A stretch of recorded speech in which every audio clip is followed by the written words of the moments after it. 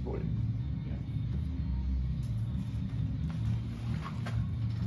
Um, well, the game plan for guarding Thompson was it executed as well as you could, or were there some breakdowns, or a little both, or? We blew a couple coverages, but we, we had two going to the whole night. And seemed like it did matter Right, at times.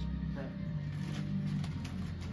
What can you say about just this group and, and getting to this point again? I mean, you guys have a model of consistency. These guys, these guys are fun to coach. We were traded for anything.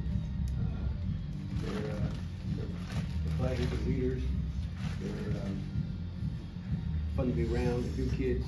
So it's, it's, it's tough, tough pill to swallow losing these guys. You three seniors here obviously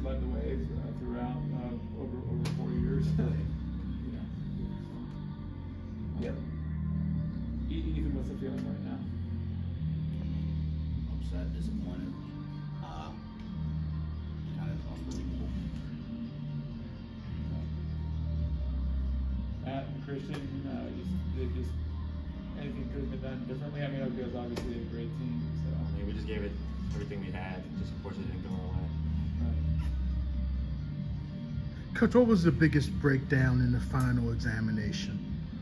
Uh, we couldn't, we couldn't get off the field. We couldn't stop. Uh, too many big plays. Uh, we, and we finally did get a stop, we had too many people in the field. That was big. That was a big, uh, a big uh, penalty because they, extended their drive and they scored on that drive. So take that away, maybe. We were, um, that was, and we were, we didn't communicate well enough with our team at that point. So that was that's that's on us. But yeah, that was a big turning point in that game. And uh, number three, making so many big plays. You know, and we had, you know, we were there, we were right there a couple times,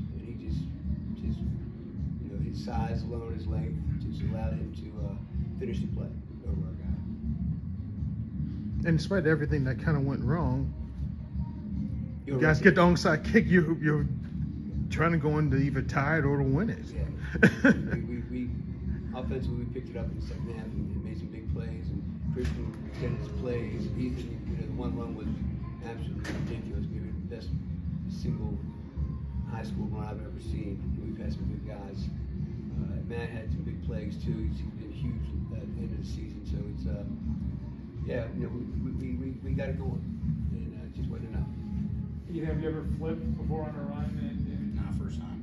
okay.